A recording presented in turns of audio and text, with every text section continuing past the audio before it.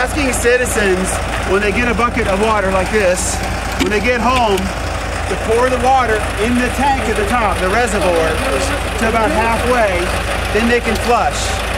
They should be able to fill it up another time, halfway, so they can flush again. Do not, do not put it in here, only put the water in here. That way the toilet will flush.